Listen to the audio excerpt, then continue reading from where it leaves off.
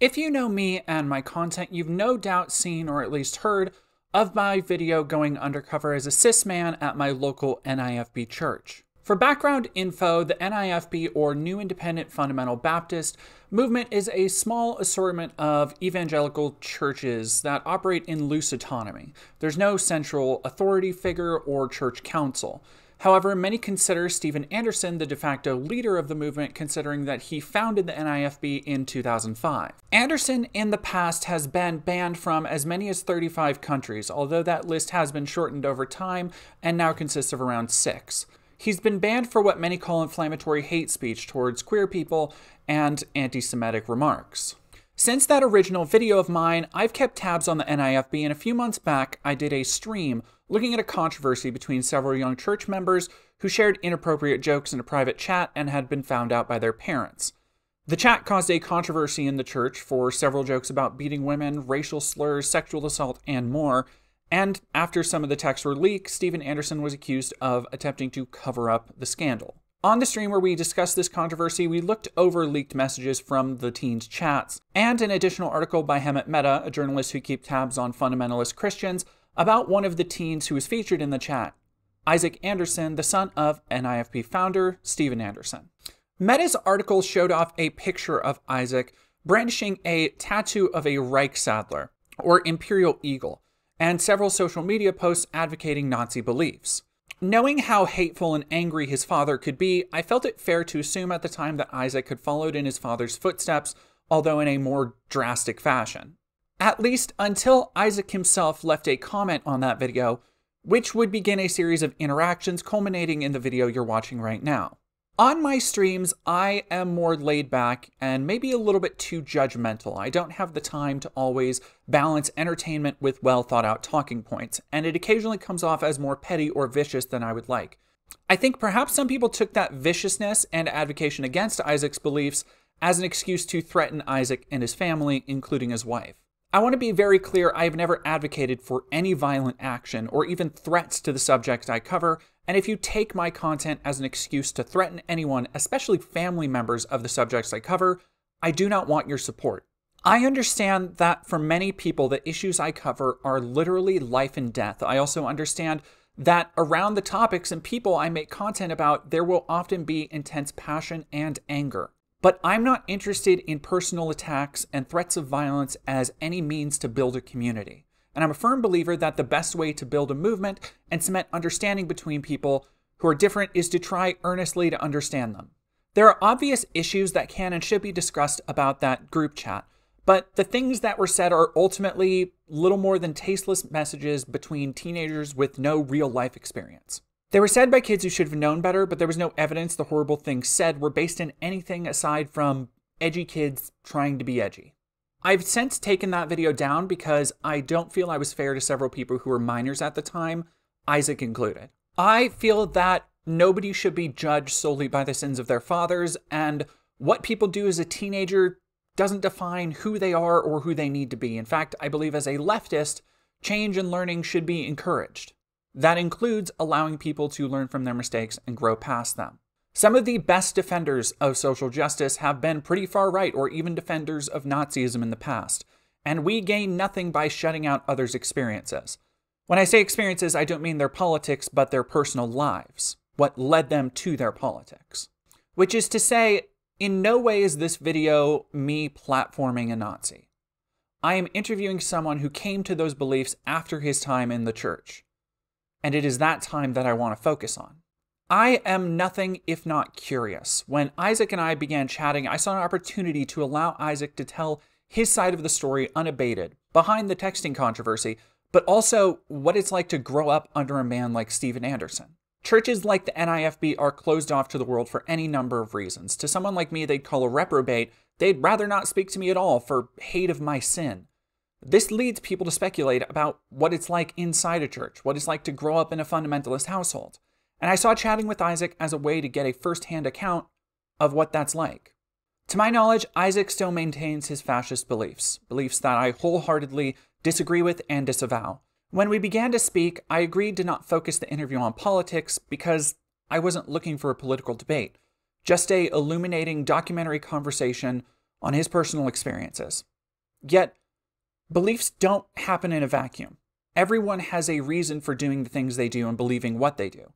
I can't speculate as to how Isaac's upbringing affected his views. I will leave that for viewers to decide what they wish. But I know that he has shown a remarkable amount of faith in trusting me to tell his story inside the church. At the very least, he doesn't seem to think I deserve to die simply for being a reprobate, like his father and other NIFB preachers would openly admit. I think the point of a good documentary is not to lead a viewer by a leash to a predetermined conclusion, but to give them the facts and allow them to decide for themselves. To that end, this interview will be almost entirely unedited, save for a few points to cut out interruptions. I am allowing Isaac's words to speak for him.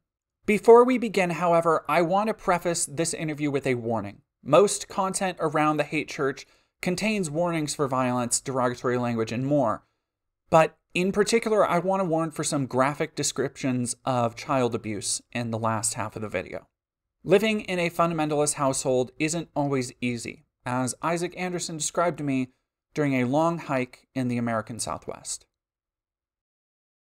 Uh, yeah, I mean, I'm Isaac Anderson. You already knew that. Uh, I'm Pastor Steven Anderson's second oldest son. So, and I think he's the one who's the founder or leader or whatever of the new IFB, they call it. Um, and I mean, yeah, he started that in like I think 2005. He started this church, so it's been a it's been a while now. Basically, my entire life, really, I've been part of it since I was like two or three. Are you still in contact with uh, your father at all? Yes, yes, yeah. I, I still see him sometimes, from time to time. You know. Do you? So do you? Um, because you had mentioned that you'd kind of separated yourself a little bit from the church.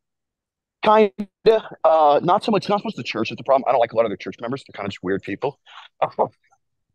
it's not so much my parents as the people that they have in the church are a lot of them are really weird a lot of good people but a lot of just kind of weirdos too so i'm not a fan of that but and so you're you are still practicing uh your faith in the the nifb tradition i guess oh, yeah I'm, I'm absolutely still a christian still a baptist still all that yeah so what was it like i guess kind of growing up in that church with your father like were you aware of the notoriety that your dad had? To a degree. I mean, because he used to he used to have like a hundred K subscribers on YouTube before they banned him. So like I knew he was pretty well known. And sometimes if you went out with him in public, he'd get greeted by a fan. Like I think I was in Aruba with him, and like some random teenager came up to us on a street corner and knew who he was. was real excited. So like he was he had a decent amount of worldwide notoriety before he got a uh, banned from like 38 countries. I think he's actually not banned for most of them now, though, because he was given like a two year the Schengen zone, but that's expired now. He's banned from like five or six countries now.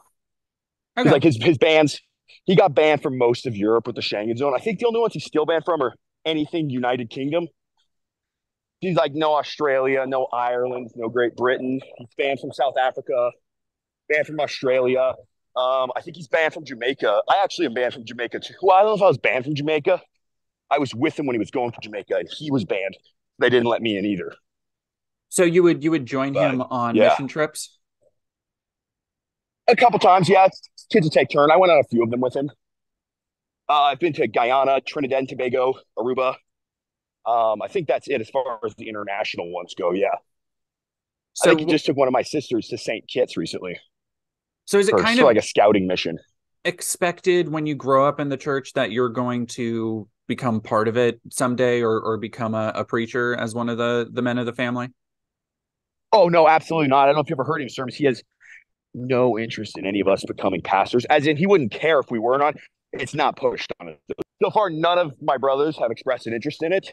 So, but yeah, the, he's not trying to put that on us. At least he hasn't. Not not when I lived at home. So I moved out in early 2021.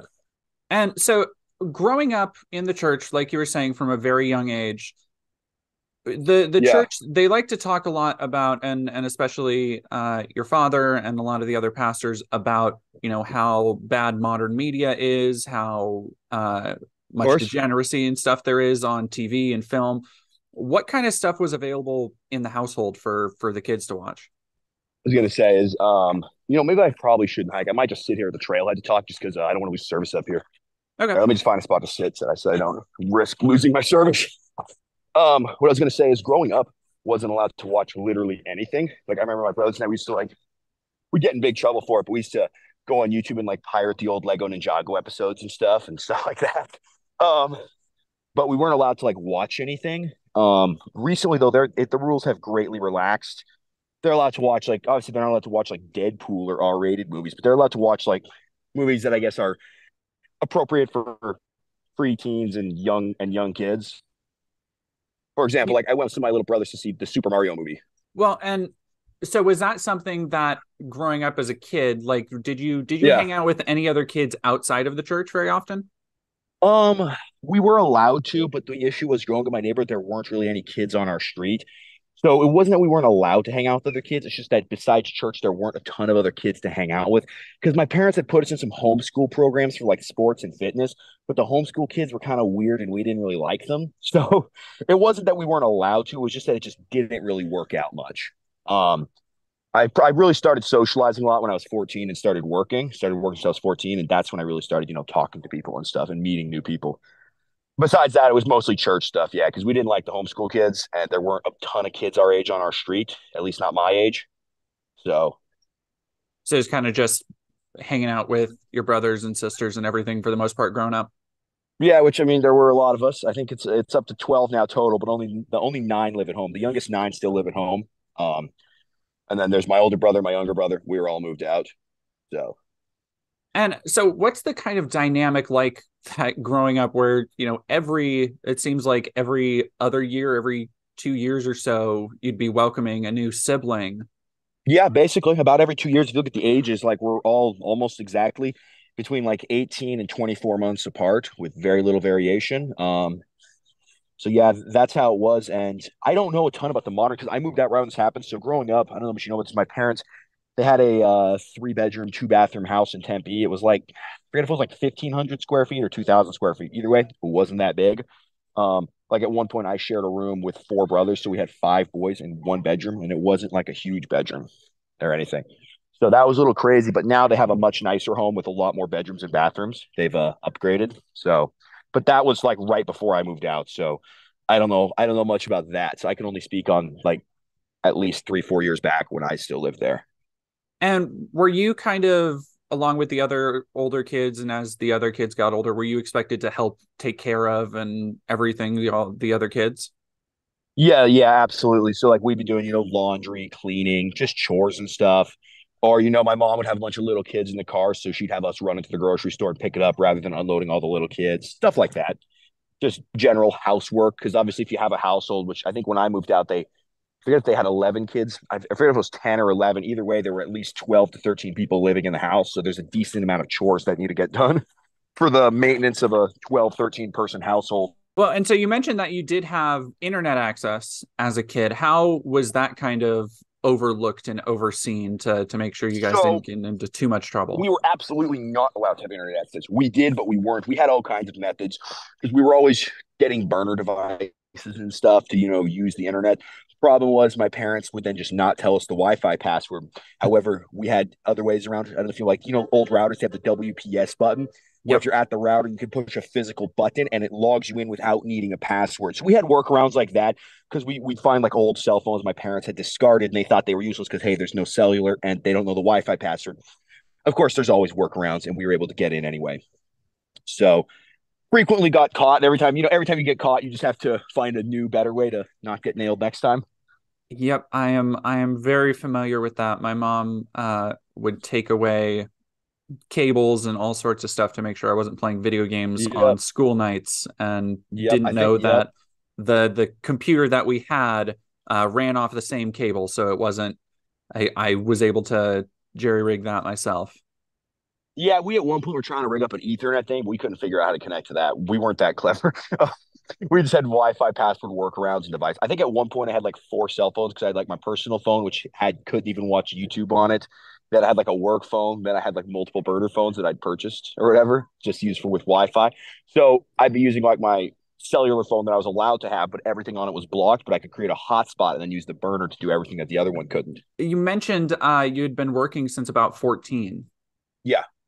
So is that like just regular like odd jobs, part time jobs, like what nope. kind of stuff? Nope. I've been a plumber since I was 14 just oh. been plumbing. I got hired by a plumbing company from the church. I was started out putting out flyers and stuff, just going door to door, leaving flyers on doors for the company. Then I started being like a helper, you know, riding along, doing stuff. And then when I was 16 and got a driver's license, they put me in a van, and then I was just driving around doing plumbing. Uh, I've been doing that ever since. So yeah, I've just been a plumber for that's the only line of work I've ever done, plumbing. Is there was there ever any kind of push either towards or away from you know going to college or anything after homeschooling's finished? Uh, no, no. I believe actually some of my younger siblings are going to college. The reason I didn't go to college is because uh, I didn't have any money to pay for it, and I don't want a huge student loan debt. So that was the issue. They were not for or against it. It was more that they weren't going to be paying for it. So if I wanted to go to college, I'd have to be taking out my own student loan, and uh, I'm not interested in that. Okay. There's a chance if I I've not ruled it out, I might go to college, but if I did, I'd probably do it abroad because like I can go to college anywhere in Germany if I want to, and it wouldn't cost me anything. Or you pay like I'm sure you pay a little bit for tuition and stuff, but it's practically free compared to the US. Because I don't know, I'm a dual national, so I can go there anytime I want. I can live there. I could I could get college there if I ever wanted to. I just haven't. Because so that, far plumbing's a plumbing's a good line of work. And that dual nationality, that's through your mom's side? Yeah, through my mom's side. So I've I'm a full German citizen. That's why people keep telling me, "Oh, just going to get banned from Germany." They're not allowed to ban me. They're not allowed to deny me entrance. I'm a full citizen by birth, and it cannot be revoked. I didn't like apply for that later. I've always been a citizen. So yeah. Is your mom still running her blog? By the way. I don't know. I never read her blog anyway. Um, I don't. I don't know. I haven't been on it. Yeah, I have no. I have no idea. Was that? I think something... she does a lot of Instagram lives, and I think that's her current thing. But I don't know.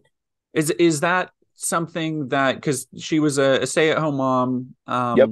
just worked on taking care of the kids keeping up the household. Was that like did she always kind of revolve through new things to keep her busy? Was the the blog kind of one of those things and the the other kids just kind of regarded it like that? Yeah did, i mean she was she was always doing stuff. I think the blog i'm not sure why she did it because like i don't think she there was any financial incentive in it for it wasn't a business thing. She just did it i think purely just for educational reasons and to prove that large families work or something, and just to show how how she does things with a large family. But like, like uh, from what I understand, there was no monetization and zero financial incentive for her. She wasn't like like an influencer or something. She got no money and she promoted no paid products. She just did it just just because. I guess since not not leaving the church, but since leaving your parents' household, yeah. How has your, I guess, consumption of media and stuff changed? Have you tried to catch up on TV shows or movies that you weren't allowed to watch or anything like that? I mean, yeah, obviously. Like I watched movies I've never seen. Like for example, just last night I saw The Truman Show for the first time. Great movie. Never saw it before. Uh, I just heard it was good and watched it. So I have done some catching up on that. I listen to music now too, but since I never really listened to it much as a kid, I've never gotten super into it. Listen to audiobooks mostly at work, but I try to get into music. It's just not I don't like it much, unfortunately. So, um, but yeah, I've definitely caught up on that. You you weren't like you weren't allowed to listen to just like music and stuff as a kid outside of church. No, stuff? no, no, definitely not. Yeah, like even if it was a, it wasn't not just like oh we can't listen to rap music. No, we just weren't allowed to listen to any type of worldly music. From what I understand, those rules have relaxed, and like my younger siblings are now. But when I lived there, absolutely not. It's zero music whatsoever. Besides, like maybe classical, like I could probably listen to Beethoven if I felt like it, but nothing like modern music not or like 80s or anything. Any type of popular music was absolutely forbidden when, when I lived at home. Strictly. And that includes so. that includes like Christian faith music and all that stuff, like modern stuff. I don't know if I was allowed to listen to that. I wouldn't because that stuff sucks anyway. But um, they didn't they didn't have to tell us not to listen to that. That that stuff's terrible. Like I was not exactly dying to listen to Lecrae or Hillsong or whatever garbage. I every the faith based music, it's like garbage music, but then they just like put Jesus on it to try to like sell to Christians. But the music is objectively bad music. So just just say them them briefly mentioning Jesus does not somehow make their song enjoyable.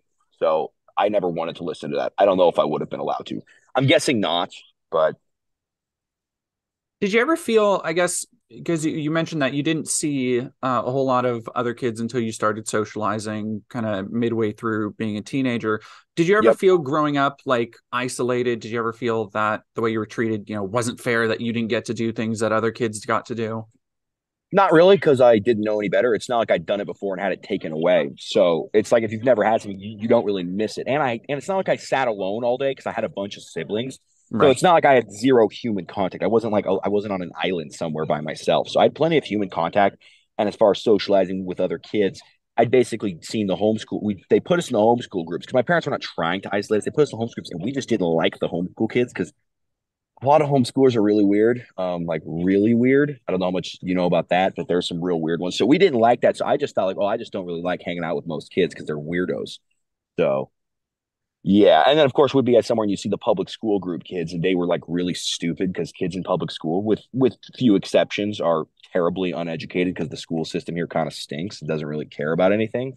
Mm-hmm. So because of that, I'd I'd be out like say at like a museum or something, and you'd see a public school group field trip. I'm hearing like the stupid questions they're asking the host, like really dumb, idiotic questions. And I'd be like, well, I don't really want to hang out with these. Then you hang out with the homeschool kids, and they're just weird. So I just I just didn't like a lot of kids my age much at all, regardless of who I, of how I met them. So I didn't feel like left out because I didn't want to hang out with the public school kids or the homeschool kids, even if I could have. I just didn't want to. Were there a lot of other kids uh, in the church around your age? Uh, not when it first started. Probably like there were no kids at our age till I was like 13, 14 ish. Now there's a decent amount of teenagers in the church, but at the time, because obviously the church is smaller and a small percentage of the church's population is going to be teenagers. Mostly the churches are small children. It's a lot of families with little kids, but if you're over the age of like 10 or 12, there weren't a lot for a while. These days, there's a decent amount. They've got some teenagers and young adults. But when I was there, because when you're like 13, you can't you're you don't really want to hang out with nine and 10 year olds, but you also can't really hang out with like 25 year old adults either. So you're kind of at a weird in between position where you, where you can't really hang out with anybody um, mm-hmm. unless there's other kids your age. And there weren't a ton until I was 13 or 14. That's when they started coming in. Uh, what about hanging out with kids from other pastors or like during big NIFB events? Uh, oh, yeah. That, yeah that was a blast. Yeah, whenever like pastors would come out with their kids or teenagers would be visiting, yeah, you hang out. Those conferences were always great because you could you could meet a lot of young people. Because basically, there's only there's a few teenagers at each church, but if they're all at the same conference, you can all hang out. That was pretty fun.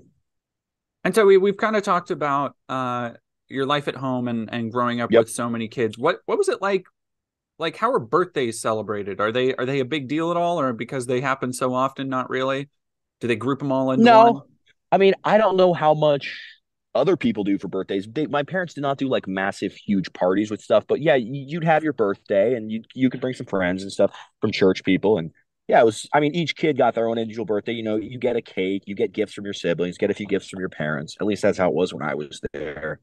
It was pretty normal. Obviously, when my parents, when they had a bunch of kids at home, they didn't have a bunch of money to drop on each kid's birthday because there's like 11 kids' birthdays. It's a birthday practically every month, sometimes multiple right, yeah. same month. So we weren't all getting like thousands of dollars in gifts, um, unfortunately. Um, no, each birthdays were definitely observed, though. Yes, and usually part of your birthday, you know, you get stuff, and then basically you get to pick all three meals for that day, whatever you want, and then you were completely exempt from all chores and stuff. So it was kind of just like a cool day off. You get to eat whatever you want. You get some gifts. Usually, you get to pick a birthday trip somewhere too. So say you want to go, I want to go to the aquarium, or I want to go to the amusement park, or or the fair if it's that time of year, something like that. Now, how how present was your kind of father in your day to day upbringing? He was there, but also kind of not there because he was often doing a lot of computer work. He was he would usually be in the house, uh, but he would often be working on his computer or something. So he he, he was around, but he wasn't like super available all the time because he has a lot of work with his computers and stuff, or he's always learning a new language and stuff, or or getting a new college degree. He's doing he's always doing stuff like that. Speaking of your father, let's talk a little bit about kind of discipline. Your father and a lot of other uh, NIFB pastors are very open about corporal punishment for correction. Oh yes, definitely. So, what's kind of your experience with that? Uh, it was as advertised. Yeah, he he he he was as good as his word on that. No, they were very into corporal punishment. Which, to be fair, obviously no kid likes getting spanked. I seen what parents who raise, don't spank their kids look like, and I'm still for spanking. When I have a kid, my kid is absolutely getting spanked.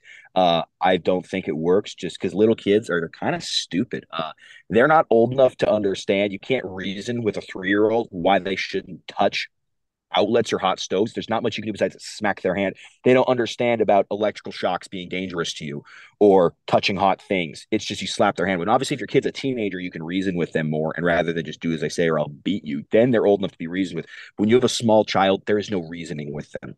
Have have you? I don't know if you ever try to argue with a four year old about something. It doesn't work. Like they simply lack the brain power to be argued and reasoned with. So they kind of only respond to a very primitive, just if you do this, I do that. Um, and then once they're older, you can actually explain the rules. So obviously, any rule you have for a four year old is a thing. It's brush your teeth because they don't understand about tooth decay and plaque, but it's brush your teeth or I'm going to hit you. Then by the time you're a teenager, you understand I brush my teeth because I want my teeth to be healthy and clean, and you don't have to be forced to do these type of things. So, yeah, but for small children, corporal punishment, to my knowledge, is the only way that actually works. But they definitely did did plenty of that though. And are you okay talking So, yeah. about the the the texting scandal in the church? Oh, absolutely. I'll talk all about that. I mean, there's plenty of information on it. Um, they had, I'm surprised they didn't get more screenshots because that was like the tiniest fraction of our chats. Um, which is those screenshots are nothing. We had that chat going for like six months or something, and it was like practically a 24 7 chat. That's what was cool about it because somebody was always on, even in the middle of the night, just talking, texting. What it was is they don't have a lot of them because the people that were screenshotting were only on it for a little bit of the time.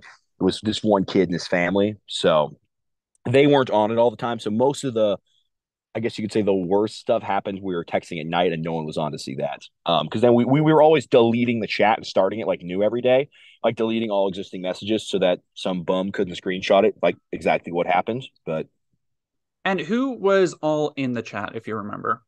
Oh, I don't even know, dude. There were there were there were some people. They were the main ones. Obviously, it was me tied into the chat. My brother Solomon had no involvement. He was put on like once for like 10 minutes, but he didn't want to be part of it just because he just wasn't trying to. It wasn't that he condemned what we were saying. It's just he just didn't want to be part of the chat. So he was on there like temporarily, but it was mostly me and a few other church kids.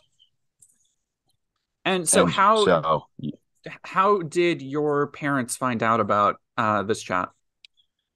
Um so I want to say it was the family. They had their kid in there, which I said uh, what is it that he shouldn't be allowed in the chat because he was a loser and was going to snitch on us, and I knew this, and of course he did. Him and his mom, I think, just took a bunch of screenshots and they had they started some parenting and just sent it to the parents of everybody involved.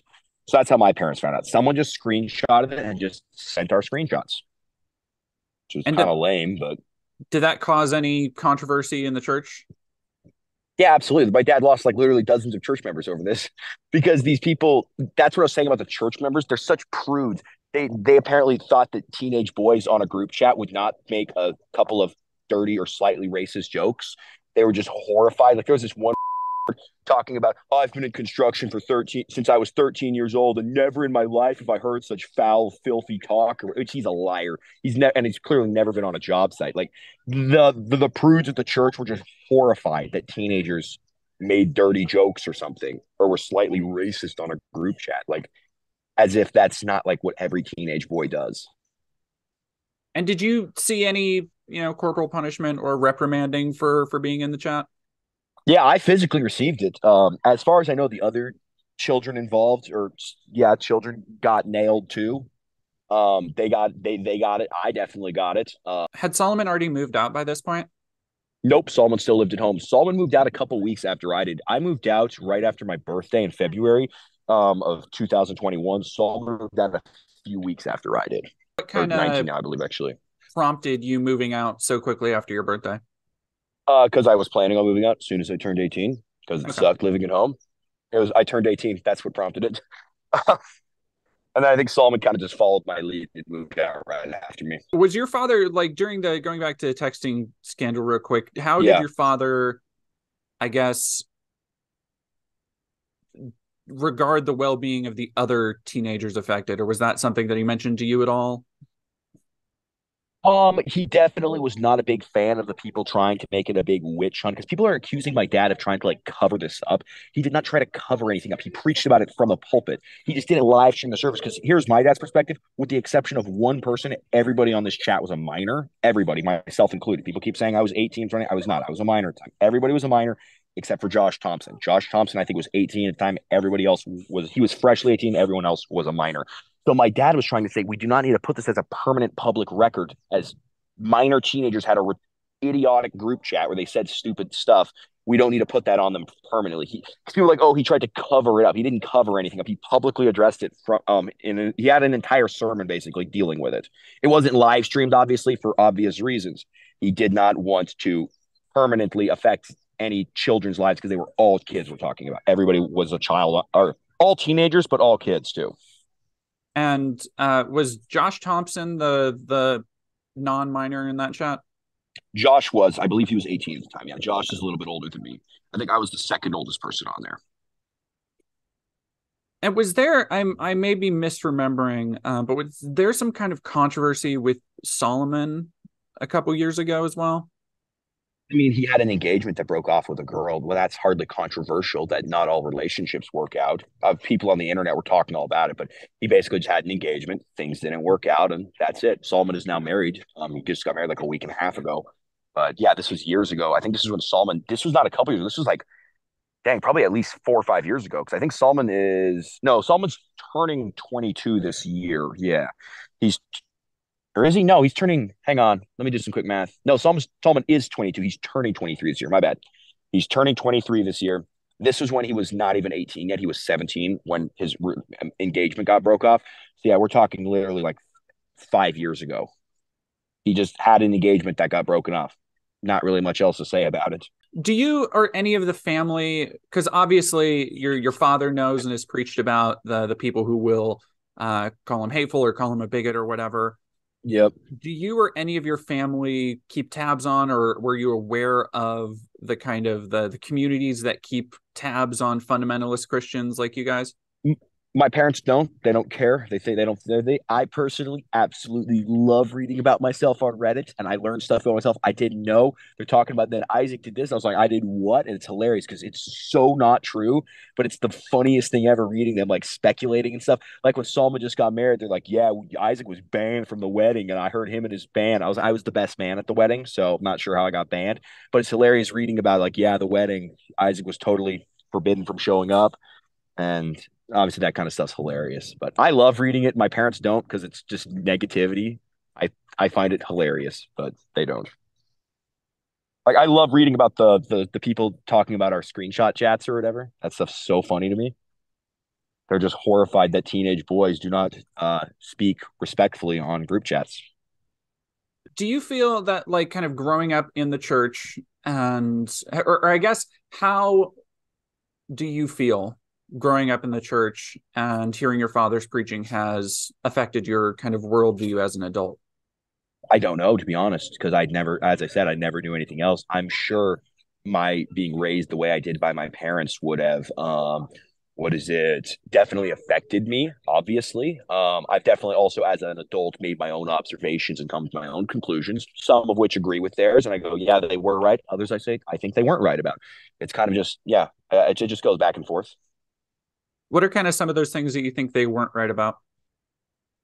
Um, I think they were a little too strict on certain things, like that the Bible doesn't even talk about. Like, for example, the all the pants on women stuff. I think that's a misappropriation, and they're just.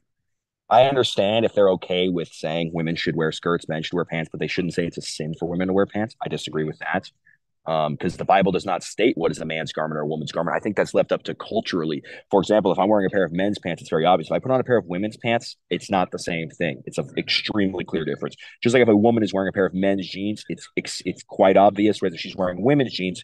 It's obvious what she's wearing. So I think that's what that thing is referring to, not just exactly pants or skirts. Otherwise, why didn't the Bible say so? It kind of leaves that open. It just says women's clothing and men's clothing. It doesn't say doesn't say any like criteria of what is what. So and what are some of the things that like just going about your day-to-day life and you know whatever political beliefs whatever other day-to-day things you encounter what are things that you kind of go back and think about the church and your upbringing or even if you do i uh, mean uh, yeah those? i think my dad, my dad in the church, they were really into like libertarianism. I thought libertarianism was cool till I was like 12 and realized libertarianism is like the dumbest idea possible. It's basically just diet anarchy, which is so stupid. It can't work. It will never work. It never has worked. Like, oh yeah, what if we just have no, everyone just gets to do whatever they want? I think people find out quickly that uh, yeah, that might work for them. There's a there's too many bad people out there. You can't let you can't be some free for all. Libertarianism and anarchy are both just idiotic and don't work, which is why no one does them. But that that's a big thing at the church. They're all libertarians, and I think that's stupid. But well, and going into, I guess, kind of bouncing off of that, talking about your father and uh, libertarianism, yep. were there ever like like where did your father get news from or where did he get information from growing up or were you privy to that at all I don't know. We never watched cable television. I to this day still don't have cable television because cable television is exclusively filled with just brain rotting content. It's either news, which depending on if you watch Fox or CNN, you're just getting the same lies with a slightly different spin. Which is, to my knowledge, all the cable news companies are complete liars. Like you watch, you go, you turn on Fox, and they got that Jesse Watters crying about Biden uses a straw to drink his milkshake and how unmasculine it is because he uses a straw. I'm like, I'm I drink a straw, dude, and I'm way bigger and stronger than that queer Jesse Watters. But um, and then you go on CNN and it's the same crap, just equally stupid. But this time they're like picking fun of Republicans for just fake made up issues. So I don't watch cable news. My parents never watched cable news. And of course, everything else on cable TV sucks too. What are you gonna watch Ancient Aliens or something on the History Channel and just lose some brain cells? So, well, because I know you're. I don't know you're... where my dad got his news. Not not cable. We never had cable. I don't have cable. He probably just I don't know. Because I know he's been on. Um, I think it was a couple months back. He was he joined. Uh, it wasn't Alex Jones, but it was another host on Infowars. Yeah, uh, were you were you aware of that at all? I'm aware of Infowars. Uh, my dad went on Infowars. To my knowledge, he didn't watch a lot of Infowars because Alex Jones is a deranged nutcase, and my dad knows that. Alex Jones is a complete lunatic. My dad was just on his show, I think, for the platform. He is not an Alex Jones supporter, and Alex Jones is a complete moron. But but my dad has been on his show and with some of his people. Did were there ever any kind of like political or religious texts that he would read, or was it pretty much just like the Bible? Oh no, no, he definitely he's read a bunch of things. I mean, he's read like the Bhagavad Gita, the, the Quran, the Book of Mormon. He reads an extensive amount of religious texts from all religions, as well as um, he reads plenty of political books too. Yeah, no, he does not just read the Bible. And I might add too, growing up, we were allowed to read basically any book that wasn't like smut or something. I was allowed to read nonfiction, nonfiction, reading. So that's why too I never really not noticed not much having TV growing up. I've been an avid reader my entire life and still am to this day. Just read so many books. So, because we have one of the biggest children's libraries in the country in Tempe, Arizona, we have like one of the biggest and best ones. Um, and yeah, I basically read tons of stuff there, and my dad read a lot of books as well. Well, and really, really quick talking about because you you mentioned how um your dad and the church they they will kind of condemn yeah. like women wearing pants and stuff like that, and I've noticed in some other uh sermons and videos is there seems to be a very fine line of things that your father in particular will label as queer uh or as not fitting oh, dude, for men. Everything's gay. So is that are, are those I disagree with that crap? Okay, so those are things that you also like just disagree with, yeah, and even growing so, up, you were kind of like, yeah. So I'm a straight married man. Um, I'm not going to be told that if my shorts fall a couple inches above my knee, I'm a homosexual for that. Like, oh wow, I'm a homo now, really? Or if I wear a pink tie or a pink shirt, I'm now suddenly a queer. For that, that's the dumbest thing I've ever heard. It's it's it's moronic, really to say that like, oh yeah, I'm a I'm a straight married man, but oh dear, what's this? My shorts don't touch my knees. I'm a homosexual now. I guess just because some weird weirdo at the church said I am. Or if well, you're or, or if you put any effort into your hair or appearance, like if you use lotion, oh yeah, you're a queer. You use lotion. So is that something that kind of growing up and and seeing your father preach from the pulpit, do those kind of things affect how you see like gay people and queer people? No, no, because a lot of this, I mean, obviously, you, most gay people, you you can spot a lot of them. I'm sure you know this. Others you can't. It really just depends. Because some of them, it's it's exceedingly obvious. You know, with like the like the walk, the speaking cadence, things, body body language. But a lot of them look, I guess you'd say, normal, as in you can't at a glance distinguish them. I really don't care. I don't see a lot of gay people in public, really, or at least I'm not noticing them if they're out there. So it's not really a. I'm not that like obsessed with trying to spot in public or whatever. Like I'm just I just go out in public and I sometimes see them. Sorry, I didn't mean to drop a slur. That I don't, I don't want to get you banned on YouTube. no, you're fine. Um, I can I can censor it. Um, yeah, my bad. So, um, well, and on that note, I guess have did you ever notice or or during church services, like were there ever protesters out front or anything like that? Yeah, but they'd be like five. They had like the lamest protests ever because people don't. It's Arizona. Uh, you're not going to find a lot of people with the character to stand in, in the sun holding a sign that no one cares about when it's 100 degrees outside. It sort of makes protesting not fun. And they can't come on the property. Like they can't do anything. They had to literally stand on like the city's sidewalk, which is like a hundred feet. They couldn't go anywhere in the parking lot or anywhere on the property because it's private property, the whole thing. So they had to stand on the public sidewalks. They're like 200 feet away from the church, holding a sign in the heat, and no one cares. And they just got ignored. So because of that, yeah, it wasn't. A, it, it was no one cared. Well, and kind of just going off of the the controversial nature of a lot of the not just Steven, but a lot of the other pastors. How like were you you aware when other controversies would break out at other churches like when uh, bruce Mejia's oh, yeah. church was bombed was that were those like big things across all the congregations bruce Mejia got bombed since when did bruce Mejia get bombed i never heard about or... this it was it was I didn't know the... any of them got bombed. That's that's interesting. That's because okay. Bruce Mejia lives in like his church. I've been there. It's in like a real sketchy part of LA. I think he's in like a higher crime area. So I'm not. I guess I'm not super surprised he got bombed. I, I, I might have to, to double check. I'm I'm pretty sure it was it was Bruce. It was one of them that uh yeah there was there was some kind of explosive. Regardless, device. I had no idea. I had no idea any of them got bombed. I don't follow. I don't follow a lot of the other passes because I'm not a fan of most of them. I think they're like kind of stupid. Um, but I don't follow them, so I don't follow that stuff. What what makes you say that some of them are stupid? Have you ever listened to them talk extensively? They yeah. half of them half of them can't even talk properly, string together a sentence. They're a bunch of just like fat mouth breathers. Like my dad and a couple of the others are the only ones who can actually like speak, regardless of how you disagree with their ideologies. They can actually articulate a sentence properly, whereas a lot of their other guys are just objectively bad speakers. Even if what they're saying is true, I don't want to listen to their crappy preaching because they're bad at, at delivering a sermon.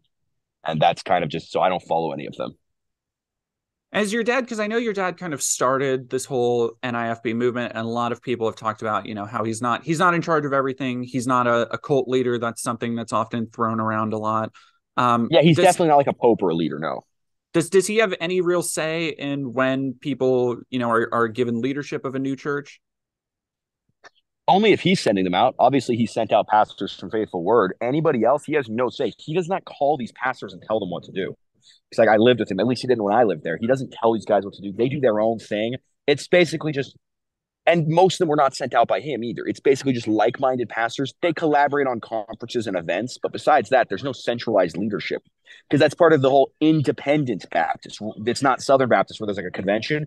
It's the whole independent fundamental Baptist. So each church is totally freestanding and does their own thing, and they just collaborate on certain things and get along but there's no centralized leadership. No one's in charge. My dad is obviously just a respected member. So if he has an opinion on something, people are probably likely to listen to it, but he's not in charge. And like if a pastor disagrees with them, they're not getting kicked out of the movement. And and just to to keep talking a little bit about controversy, if you're okay with that for a minute. Um, sure, let's do it. Going back to the the kind of the fundie snark boards and the Reddit boards and people talking about you, I came across one story, and I have no oh, like way to okay verify its Fact authenticity. Check it. Yeah, exactly. Uh, about your mom saying something to the effect of she wouldn't want any of her daughters marrying a black person.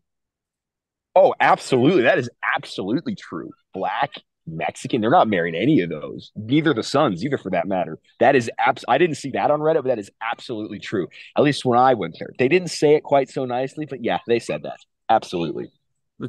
Uh, is that is that something that's that's preached in church or just more? No. So my dad from the pulpit preaches. He's totally fine with interracial stuff. He doesn't care. Doesn't care. He just doesn't want it for his kids. Um, which whatever, man. Um, that's their thing. They absolutely said that though. I'm sure they're gonna. They may or may not deny saying that, but they said that both of them on many occasions. Is that so? Yeah. That's something um, that you would you would hear in like the household. Oh, absolutely. Yeah. Any uh any speculation as to why? They don't like them. Um, I mean, my dad. I don't know if you know. My dad said the N word from the pulpit once. I don't know if you're aware of that. I am not. He dropped an N bomb. Well, he, he, to be fair, he wasn't saying it. He was reading off. It was a sermon he made about Kanye West, and he read off some Kanye West lyrics that included the N word, and he just read it off. Um, obviously, he doesn't normally preach the N word because he doesn't. He doesn't talk a lot of a lot of racist stuff from the pulpit. Not that I can remember, at least. So no, they just basically don't want their daughters. I think what it is is most people they want their kids and grandkids to look like them to a degree, and it's not that he has any dislike for black people because I don't know the church is quite racially diverse. Tons of Mexicans, Asians, black people, tons of diversity. Honestly, like it's a lot. It's not like there's just one token black family. There's tons of black church members, tons of Asians, a lot of Latinos. So we have all kinds of people in in the church. Do you ever remember any I guess, controversies from other church members or, or, people bringing stuff up, having issues with stuff your dad would say from the pulpit? Not, not that I can remember. I don't remember anything like that of, of anything, like anybody super disagreeing. Because most of the stuff he preaches, someone disagreed with, they just uh, didn't, they just didn't say anything, or if it was so bad, they just quit the church over it because they hated it so much. But for the most part, no, I don't, I don't know of any of that. Okay. Um, how was your father's kind of notoriety treated around the household? Like was it was it known to everybody how or yeah. like why he was hated and how he was hated? Of course of course. We knew we knew. And were those things just like were, was that used as a, a lesson to tell you about how you know worldly everybody else was and uh how the world hates you know people who are who are out there preaching?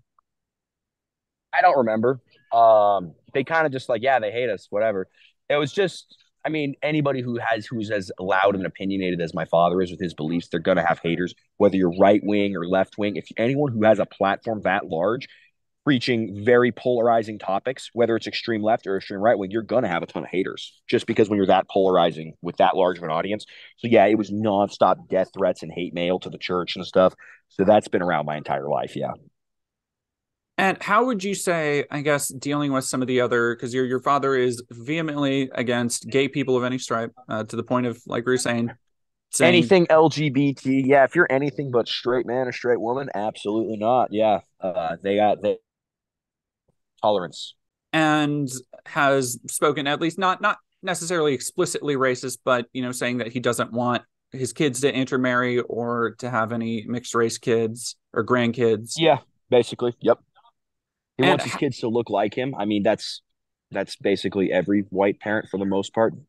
If they're if they're honest, I'm sure a lot of them say otherwise, but most white people, if they're honest about it, want grandkids that are not half black. And even a lot of black people like are like that. They don't want their kids marrying a white person. It's just I think that's just a you can argue about whether or not you think that's right, but that's human nature on that front. To want your kids to look like you. Well, and I guess grandkids, on, I should say. On that note, would you be able to speak to any perceived because your your father has also and I I know Aaron Thompson has has taken similar approaches and talked about Aaron how they're Thompson not... is a complete that guy's a moron. I hate that guy. He's a complete loser. Do you have any uh, specific experiences with him that would make you yeah, he's that? a fat mouth breathing slob. He's a complete idiot. I don't even know. I don't even know where to begin with that guy. He's a complete just tool bag. I absolutely don't. I I always hate when they put like the more normal ones with that guy because that guy's a complete just idiot. I don't even want to hear about like like you can't even put him in the same thing. I don't what sort of what racist stuff has he said? Because I don't to my knowledge, my dad doesn't say anything racist from the pulpit. And I mean, even the stuff in his personal life, it's not even racist because he's not saying black people are worse than white people or something. And he's even pro interracial marriage. He has nothing against it. He just doesn't want his kids doing it because it's his personal preference. That's it. Well, Aaron Thompson, he he takes a similar approach when talking about particularly the Jews. Uh, oh and... yeah, I think you called Aaron Thompson a Nazi, or someone did. Aaron Thompson is not a Nazi. He just hates Jews. If you go, if you look through Christian history, Christians have hated Jews like for like at least the last thousand years. Like read what Martin Luther had to say about the Jewish people. That's long for Aaron Thompson is not a Nazi by any means. He just hates Jews because G- Nazis did not invent hating Jewish people. A lot of people hated them long before that. So none of them, to my knowledge, are even remotely Nazi or even espouse Nazism in the slightest. They just hate Jews. So yeah. And so is that in your in your experience? Because the thing that Aaron Thompson will delineate is he'll say, you know, that he doesn't hate Jewish people or people from Israel. He hates the religion. Is that is that true, or is it? It seems I like believe that is true blended. to an extent. No, they, I, I they're, they're not interested in someone is distantly ethnically Jewish. I think they're more interested in are they a practicing member of Judaism. That is correct, to my knowledge. That's their perspective. They're not interested on like if a DNA test says they're Jewish, they're interested in what they actually believe. So it's technically not a racial thing; it's more of an ideology based thing. And because so obviously, I, if a Jew is not a practicing Jew, you'd never really notice that they're a Jew. Because besides it, they, they just look like white people. Like they don't they don't look really any different. Like for all I know, you, you could be Jewish and you might not know. If you get a DNA test, you might be.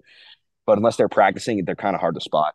So I guess those those teachings around you know the synagogue of Satan um, and yep, yep. the the Talmud all and all that stuff. All that, yeah. Do you feel that those in any way influenced your personal beliefs? Eh, I don't know. I to a degree, maybe. I mean, I I didn't care much about it. Didn't talk. I didn't think much about it because I don't really deal with Jews on a daily basis or something.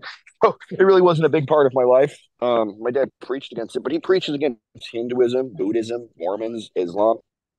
He preaches against any religion that he doesn't agree with, as well as branches of Christianity like Catholicism, Orthodoxy, and stuff like that. So he goes after any religion. They weren't going after Jews because they were going after because they're Jews. They were going after them because it's a different religion than Christianity. So that's the real reason, I think.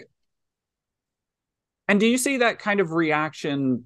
Because the the thing that strikes me most about the the NIFB compared to the IFB is how yeah. reactive they are towards like pretty much anything worldly, like different different religions, different beliefs of any kind is that something that like you mentioned that your dad has loosened up some restrictions in the home do you think that he's loosened up on some of those or no honest it's not that they're saying other religions should be illegal they're just saying they're wrong and they just want people to know that because they're hoping to convert members of those religions they're hoping to say convert a, a catholic or a muslim or something like that. They're not saying we're preaching against Islam because Islam should be outlawed and illegal. They're preaching against it because it's a false religion and they just want people to come to the to Christianity instead. So right. if they're preaching against Judaism, they're not they're not saying round these Jews up and put them in camps. They've never called for that. They're literally and if you watch the sermons, they would say we need to get them saved, give them the gospel of Jesus, and that's it. Like when they're anti-Jew, they're not saying gas them or something or anything or anything like that. Absolutely not. At least never that I've heard. I can't vouch because some of these guys are real weird and they absolutely might have said that, but I've never heard it. And I at least know that's what my dad doesn't say so and and that's that's actually an interesting point you were you were talking about uh you don't know what everybody has said which you know there's no way there's how many there's, there's too many of them even follow because i yeah. keep yeah, this always cracks me up. I'll catch a video on the internet of some pastor saying something. And it sounds like that's nuts. And then I like look it up and I was like, oh wait, that's literally one of the NIFB guys. I don't follow a lot of them because they're kind of weird, saying some interesting. They have some interesting ideas like that. We've talked about how and your father they they are open about wanting to convert and wanting to you know get people living the christian lifestyle living in the word and the faith something like that yeah where does that line draw for reprobates i guess they're not interested in trying to convert them they believe they cannot be converted they do not try they simply don't so if you're a queer they're not interested in trying to convert you and do you Which, do you believe that as to well? my knowledge to my knowledge, not a lot of queers have been interested in my dad's convert uh, church and conversion. So as far as they're concerned, they might even be right because no one else has been interested in converting. Um, none of their reprobates have been interested. So, is that something that that you still believe too? I have put no thought into that matter. It doesn't matter because there aren't a whole lot of homosexuals lining up to join my father's church. So whether or not they want to join and are not allowed to is irrelevant because so far none of them have tried. So it's kind of like I don't even know. I don't I don't put much thought into that. As I said, I don't see a lot of queers in public. They don't really affect my life. I think we have a lot bigger problems than some tiny percentage of the population doing something that I may or may not approve of because it's the Bible. Uh, I don't care. Now I'm proud. They're probably going to call me a soy boy liberal for that, but I just don't care. It does not affect my life. We we have a lot bigger things to worry about than whether or not uh, there are trans people or kids or who gives a shit, man. it it doesn't affect my life enough for me to care. I'll start caring once it starts affecting me. And really quick, I do want to circle back around to um, just some of the the relationship with your dad and yep. the, the texting scandal and all that stuff. When you yep you mentioned that you kind of got yours uh was that was that was physical you got a, a physical beating. Oh absolutely definitely. And you know the the things that you guys were talking about were those did did getting caught or getting uh you know reprimanded by your father did that inspire any like oh gosh i really shouldn't do this or did you did you you know pray for forgiveness and that kind of thing no, I was just mad that they didn't listen to me and kick out the kid that I said was going to snitch, and he absolutely snitched, and I said he was going to, and I said he's going to get us all in trouble. Uh, that was the only takeaway for me. I do not regret anything I said. I was most of it was just joking. Like people act like these are serious opinions. Most of it was completely facetious. We were just joking around. So in that case, how do you regret making a joke because you didn't mean it? It's not like we said something that we truly believed and have changed our minds. Most of the bad screenshots are not our true beliefs whatsoever. We're teenagers. We're just joking around, saying awful things. That's what happens if you put a bunch of teenage boys on a group chat. Um, it's like any video game lobby or something. So we didn't we, we didn't actually mean any of the stuff we were saying. At least any of the bad stuff they had screenshots of. Well, and because and, of that, yeah, it was it was dumb. And you you you know you definitely have a point there. Is that I I find it hard to hold most things against teenagers, especially ones who are telling obviously edgy jokes in in a a space right, that right. they I think, think they were safe. talking about us like, yeah, we were talking about hiring hookers and beating them. They're like, they were actually gonna no, we were joking. It was a joke. Now you might have all you want to say about it's a bad joke, it's wrong, it's misogynistic, it's bigoted, but at the end of the day, it's just a joke. And they were trying to claim that we seriously meant those things, and that was the issue. So I didn't learn much from it. No, I really didn't, because I didn't mean. It's not like I meant. It's not like I actually thought beating women was acceptable or okay. And then, and now I've learned my lesson. I never thought beating women was okay. I still think it's not okay. Never have beat a woman. Never would. I mean, not unless I was like in, in serious danger, but that hasn't happened yet. Well, and and we can we can cut this part out if you want. But sure. is your wife one of the people who was in that group chat? Oh, absolutely. Yeah, she was one of the she was one of the girls in the group chat. Yeah. Uh, she was one of them. We're now married. We've been together for it'll be four years this like April or May. So we actually met through that group chat. So it was a group chat of a bunch of church kids, basically. And that's where I first started talking to was on that group chat. That's also part of the I don't regret being part of that chat because that's literally where I met my wife. So yeah, I'm not terribly regretful of anything I did there. I'm only sorry I got caught, basically. Yeah. And I guess how to my knowledge, that was all the kids. Josh Thompson was sorry he got caught too. John was pretty sorry he got caught. None of us were sorry for anything we, we did. Absolutely not. Well, yeah, that's that feels like how it is sometimes when you're a teenager. Um, well, also because it's not like we truly held these awful beliefs. Because if we truly right. believed the things we were saying, that would be quite reprehensible. But we didn't actually believe it. So what? We're just we made a joke we shouldn't have. And to us, beating women. We're like, that's we would never do this. That's why we can joke about it. So, so was there any? Perhaps it wasn't prudent in your in your kind of limited uh yeah internet access and stuff was there any exposure to you know edgy jokes that teenagers make edgy like 4chan and reddit boards and stuff that you guys would go um on? i never have been on 4chan in my entire life i didn't visit reddit till i was an adult so no I think the edginess, it was pretty original in a sense. Like we didn't learn these jokes on like weird forums or message boards.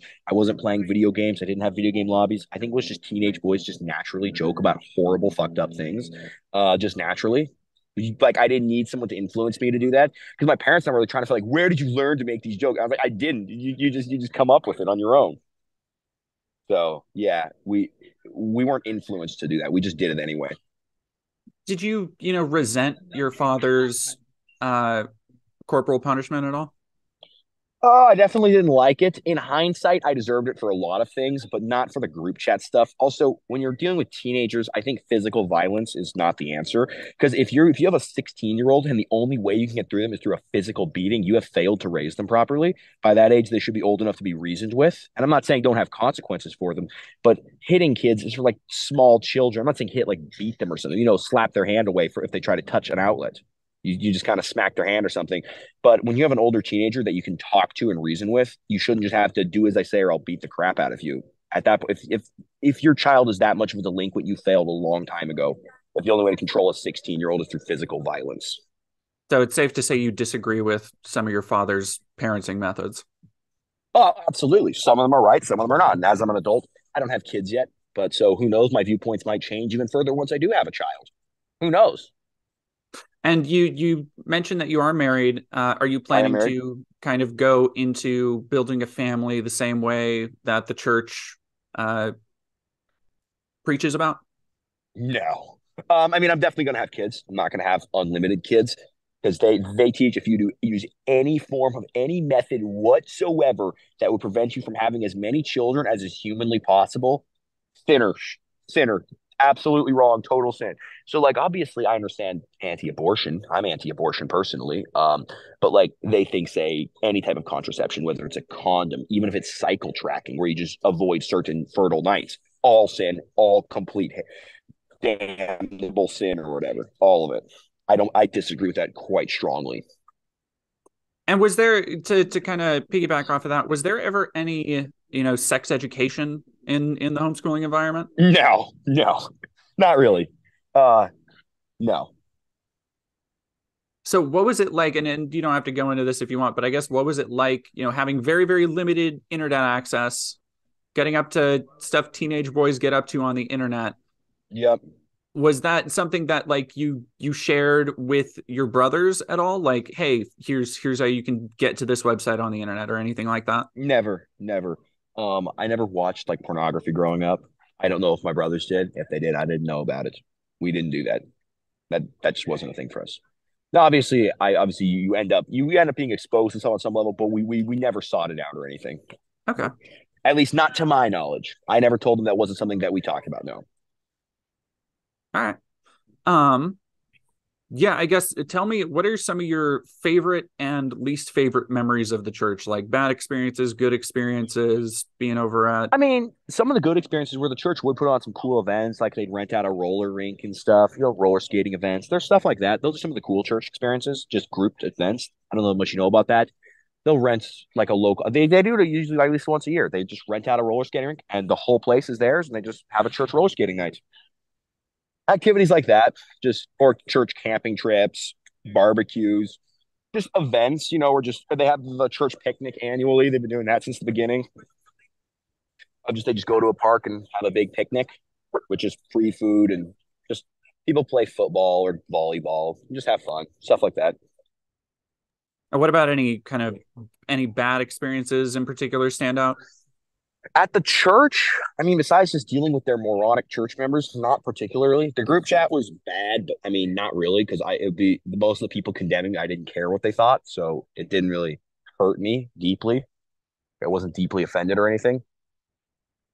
Was there ever any talk like, "Oh, you need to you need to repent, you need to get right with God," and you know? Oh, absolutely. There was all about that are you even I, I, don't think my parents will ever accusing us of not even being christians because we said the n word on a group chat.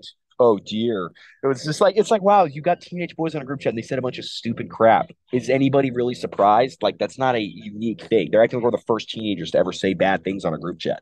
So no there was definitely a lot of uh, that we needed to cleanse whatever sin. They they kept trying to. They were really interested in figuring out what wickedness we got into that it influenced us to say these horrible things when in fact there was none. We just came up with it on our own because we were teenagers and stupid. Yeah, we didn't we didn't get influenced. We just did it.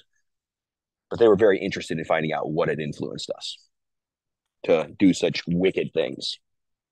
Would you say yeah. that you're that Steven Anderson was a good father to you?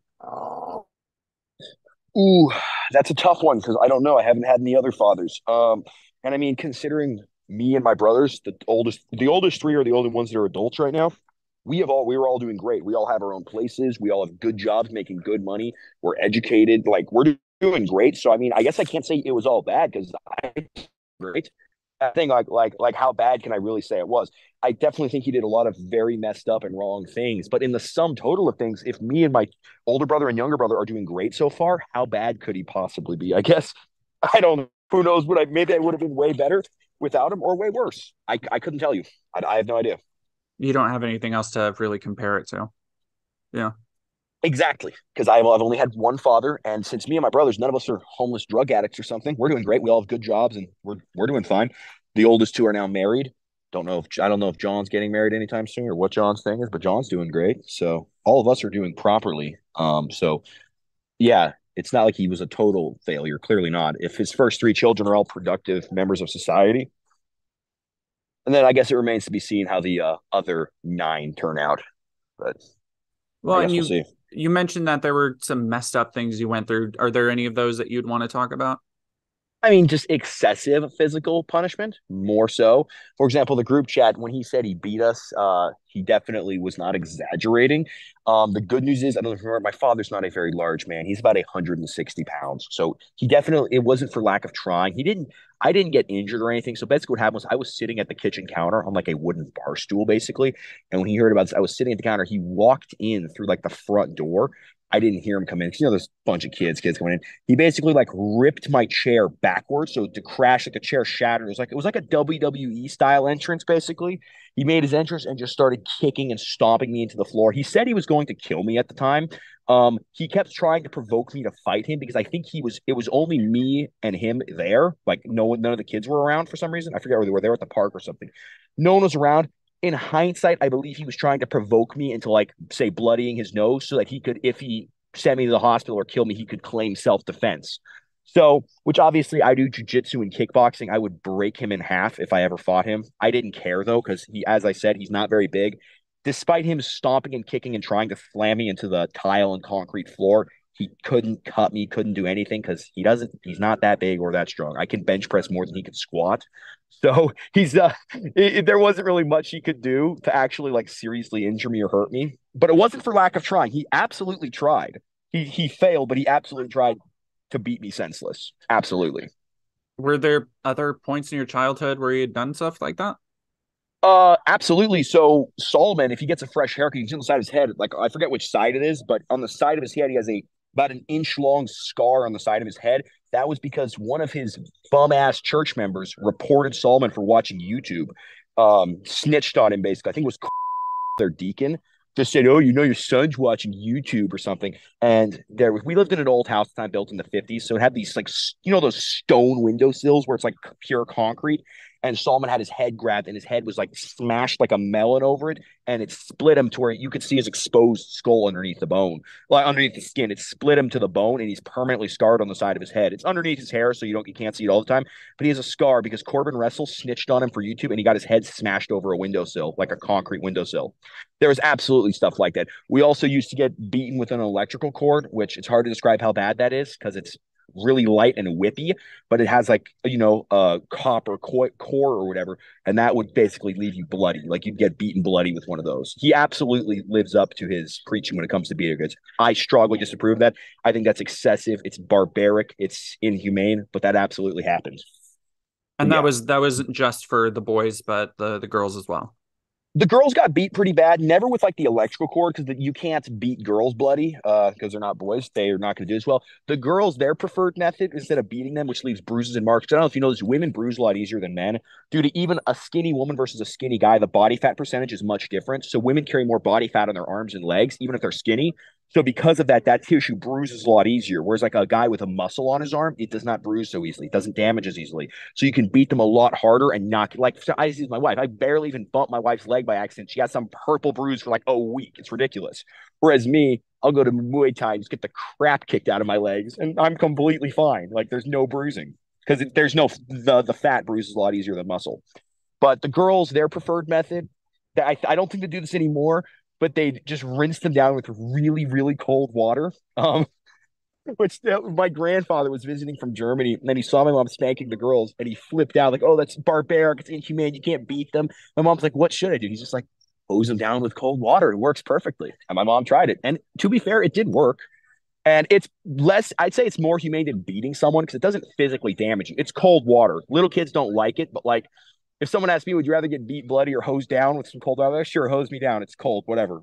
It doesn't it doesn't physically damage you. So that was those were their preferred methods. And I guess uh, you know, talking about like the incident with Solomon, were you there? Did you see that happen? Uh yeah, I don't I believe so, kind of. I think I was around, but I wasn't in the house. Like I was in the other room when he got his head smashed, but I did see him bleeding all over the place because he was not given any medical care whatsoever. He was not taken to the doctor for that. So I remember seeing him outside because then they promptly made him go like do yard work in the heat or something. He had like blood running down the side of his head, and like his whole shirt was covered in blood. He was because obviously you've seen someone gets their head split, it bleeds pretty badly. So yeah, he was he was bleeding all over the place from that. Um, I don't think I saw him get his head smashed though, no. But I I I, I heard about it. Like he told me. And did your did like from from that or from any other incidents like where people were beaten bloody did your father ever you know console them later or show remorse over it? Absolutely not. Not only did he not ever show remorse i'm pretty sure he doesn't even remember. Like i bet if someone asked him about this he's going to completely deny and go i never did that. He has no memory of this. Because to him it wasn't as big of a deal obviously so he probably he would probably truthfully say that never happened because he truthfully does not remember smashing Solomon's head over a concrete windowsill for watching YouTube. Um, he probably has no recollection. Just another day at the office for him. Uh, but obviously Solomon w- would remember. I mean, his the side of his head's permanently scarred from that. Jeez, I am I am sorry you had to uh, go through that as a kid. I mean, it definitely sucks, but it does build character. It doesn't make them great, but I mean, it's in the long run, it probably builds character. Probably right. Suffering of any kind usually makes you a better person. So, well, well, I would never do that to my children. It happened to me, and I turned out fine. So, I, I wouldn't do that because it's barbaric and inhumane, and just it's just awful. But yeah, I'm doing great. So, I'm not, I'm not, I'm not terribly sorry for myself. Are you aware of any of the other pastors like taking these kind of uh, approaches to to corporal punishment? To my knowledge, none of them are as draconian about it as my father was. They all do it, but to my knowledge, it's not that bad. No, I think my dad, at least to my knowledge, is an anomaly in, in how far he took it. Who knows though? They the others might be as well. I have no clue, honestly. I I don't want to say none of them do, and they are, because then again, though, I bet none of these other pastors knew my dad was doing it that bad. So yeah, because obviously something that happens at home. This wasn't a public thing. They never did this stuff in public or talked about it or acknowledged it. And you were saying they they never like sought medical care or anything for that kind of thing. No, no, never, never that I'm aware of. I mean, we did go to the doctor if we broke bones. Um, growing up, none of us ever broke bones because we drank our milk. After me and Saul moved out, though, so no, if kids break bones, they definitely go to the doctor. It was more of just if they beat us so bad that we were bleeding because we weren't bleeding out. Okay, it was more just like you're beaten and the skin breaks open and you're bleeding. Because if you cut the side of your head, it's bad, but you're you're at very little risk of dying from that, despite how bad it might look. Because your body, I mean, none of us are anemic, so it just it clots up and you'll be okay in a week or two. Are you afraid at all of your father, you know, seeing this or, or hearing about this? as I stated, I can bench press more than he can squat. I'd like. I don't think I have any reason to be afraid of him. Uh, I'm sure he's not going to be happy about this. Absolutely not. Um, I mean, but then again, though, if what he did was so right, he should have no problem saying I absolutely this because everything I'm saying is not exaggerated and is 100% factual. So because of that, he then has a choice. He can either say that was wrong, made a mistake, sorry, or he can go and go, no, I don't regret anything. Fair. Either way, since I'm completely telling the truth, I don't think there's any reason why he should not want this to be out there. Because if it's true and he did it and he was completely justified, then why would he be worried if people know what he did? So. And how did your mom, I guess, react to to these kind of punishments? Oh, she was completely on board with it. Absolutely. She never did it as bad as him because as a woman, she physically can't beat somebody as hard as my father can. But it was she wasn't exactly encouraging him to stop either. So no, she was she was completely on board with it, at least to my knowledge do you have any i guess memories growing up of you know your father being very loving or supportive um i don't know about loving and supportive. I mean we definitely had some fun times with him because when he's not losing his shit he's actually he, he can be a pretty chill guy to hang with. If he's not angry and flipping out like because he's a he's a surprisingly normal guy when he's not going ape shit. He's surprisingly normal. So um it's hard to say i guess. He was probably yeah he was like we definitely have plenty of happy memories with him, but just woe to anyone who's in the house if he was angry, basically. Which is strange because he never drank or did drugs or anything. So it'd be weird. Like I don't know why he'd be randomly snapping sometimes. It wasn't like he'd get drunk and go nuts. He never drank or consumed any drugs when I lived with him. So like I don't yeah, but he you know, just stuff happens. He would just lose his shit and everyone's and everyone better watch out. Like just if if everybody was hanging, even if there wasn't any big controversy or somebody hadn't, you know, done something they weren't supposed to do. Because circling back, we had like 12 people, uh, possibly even 13. I don't remember if they had 11 kids there or 12 living in a three bedroom home. Yeah, that that that's going to cause problems. Tensions are going to run high because everyone's living on top of each other. When you have 13 people and two small bathrooms to use, there's going to be some issues because of that. So tensions are going to run high. From what I understand, he does he's not really like that anymore because they have a much larger home now. So he can because he'd be basically working on his computer in peace, and the kids, they're little kids, they're stupid, they're running around raising hell and then he would eventually, you know, have enough of that and get and get pretty angry. But now ever, he's got like his own work office downstairs. I guess kind of looking at that living situation, even as a kid, because yeah. that is something that is very encouraged, at least in a lot of the sermons I've seen from the church, to have as many kids as possible. The woman stays home, the father goes out and works, which can put like for for raising up, especially in the last you know decades, as prices have uh, inflamed. Housing prices are nuts, man. Yeah, they're housing, uh, cost of living, just general expenses. Like that has to be a a hard kind of life to to keep living. It's not like back in the fifties and sixties. No, I mean it to my yeah to my father's credit, to my knowledge, We we have we never received a penny from the government, no food stamps, nothing. We never received housing assistance, food stamps, and to my knowledge, he always paid every bill on time every month, and we and we never went hungry. So to his credit, there he did have a bunch of kids. Aside from the house being way too small, they they took care of us as about as well as they could. Like we always had food, and we ate organic and stuff too. So we weren't even just eating like ramen noodles. So we had we had relatively good food and we had our clothes and shoes. We just didn't really have anything fancy or anything, but like everybody was taken care of. We took no government assistance and he paid all his bills on time every month to his credit. And are you so, really particularly close with any of your siblings? Yeah, yeah, very close with with my brothers, all of them, and and, and my sisters too. I hang out with them regularly, but no, I, I hang out with all of them pretty routinely. All right, well, At I least every few weeks, yeah that uh, unless there's you know anything else you'd like to say about you know your dad or uh, the the congregation um, or the um, church. Not really. I mean, his congregation freaking sucks. They're mostly just like weirdos. Like they're way more judgmental than even my parents are. Like they're way more straight laced and hardcore. And I don't want to say straight laced because that's like usually a good thing. They're just like idiots. They just basically they're like take this weird hyper traditionalism too far to like a point of stupidity, and I'm not a fan of. Like also it makes it makes it makes the rest of us normal ones look kind of stupid because if I mention being associated with them, people might assume I'm some like complete weirdo like they are, and I'm really not. Like I live a pretty normal life. Like I'm not ranting on the internet every day about homosexuals or something. it's not. Whereas they are, I like they they they they kind of hyperinflate things that aren't really the biggest. And obviously, if you're a Christian, I mean, the Bible does condemn that stuff, obviously but that's not a big issue for us. So we shouldn't really need to be, you know, screaming and yelling about it every single day.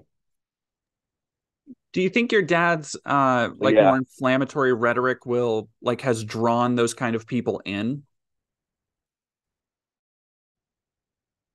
Yes. Yes, because obviously I think if my dad had a much more chill approach, he'd get more chill members. But because he is so I don't want to say up um I'm sorry, I'm losing it here. Um, he's so like staunch on it and like has such like aggressive language with with his that like zealots to his cause. And yeah, and that mention, but that's how it happens. Yes, uh, I think that about does it for me.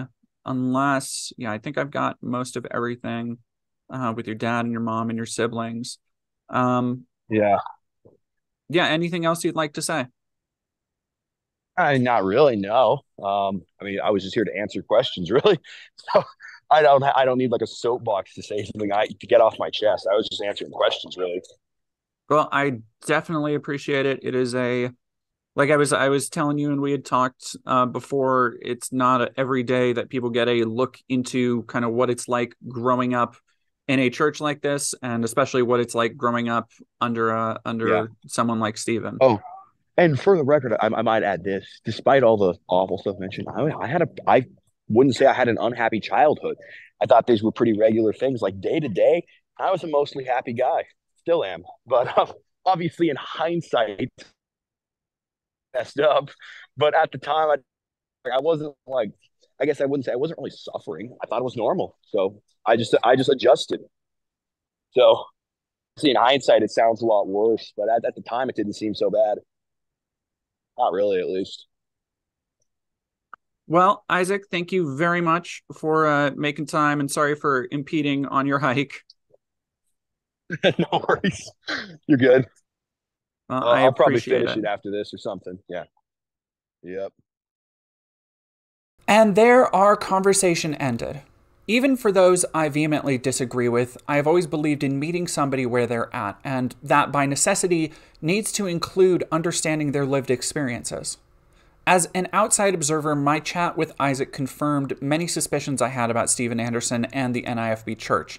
It's not hard to see from Anderson's sermons that he is a very angry man, prone to outbursts and slurs even from the pulpit.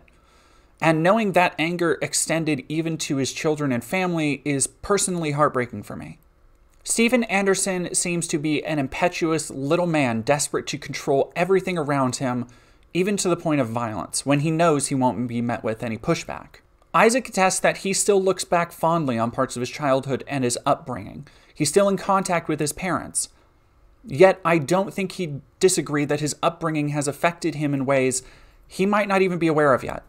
And this is where I want to give a more personal, less neutral take and say that while Isaac may have not known anything else, so his upbringing wasn't out of the ordinary for him, I fully believe that no child should have to go through the things he described at any age. What Steven Anderson has done to his children is beyond reprehensible.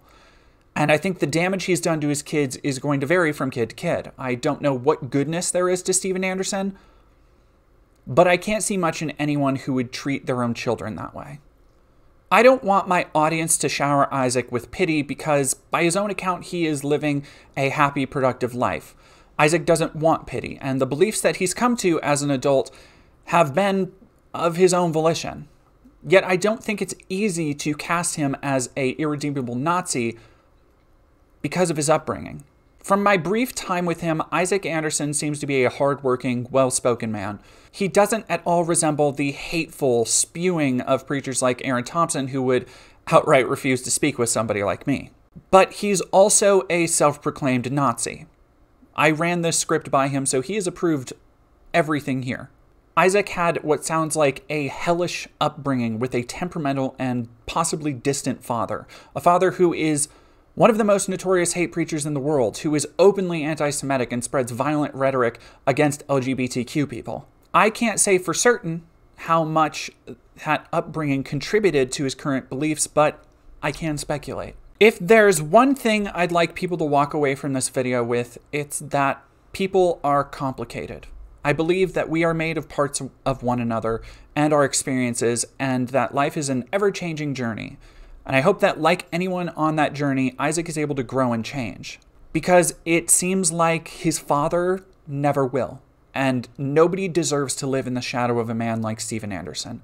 Anyone can be better, and I hope that of Isaac too.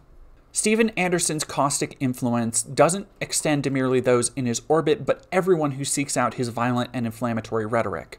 As he continues preaching, I grow more worried about people who will hear his tirades and see them as excuses to be violent against LGBTQ people or other faiths. But Anderson's issues spread further than just his preaching.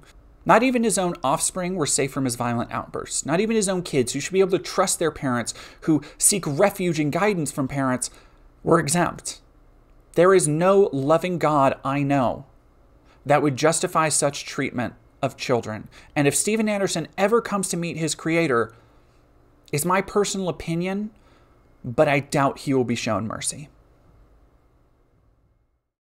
Hello, everybody, and thank you very much for watching. This is obviously something a little bit different than my regular output. However, I've been in contact with Isaac for a couple months now. And we've been going back and forth on the details of what this interview might be. For those wondering about my video on the history of anti Semitism, it is still coming. I am covering more than 2,000 years of history in that video, and have run it by about four different editors. And I have an upcoming interview scheduled with a Holocaust scholar who works out of San Francisco. Uh, so I'm hoping to start editing that massive work together in the coming weeks. I don't foresee myself doing more interviews like this in the future, uh, whether with Isaac or anybody else. However, when the opportunity presented itself to shine some light on the inner workings of the NIFB, given how much now history I guess I have with the church, it was an opportunity I couldn't pass up. So many of the things that we've covered and seen come out of the NIFB churches that we've done videos on on this channel, I feel speak for themselves with very little need for commentary between them, even though I've given them.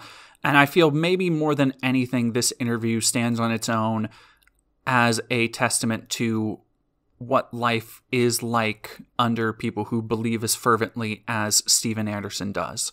All of that being said, this is my last intended look at the NIFB for a while, uh, as I have several other large projects in the works. So if you enjoy particularly my journalism, please check out my Patreon and additional links down below because I have a absolutely massive undercover project brewing that I cannot talk about yet. But if you enjoyed my look at the NIFB church, I am sure you will enjoy and find valuable my upcoming work. To that end, thank you very, very much for watching, and I hope you have a wonderful day.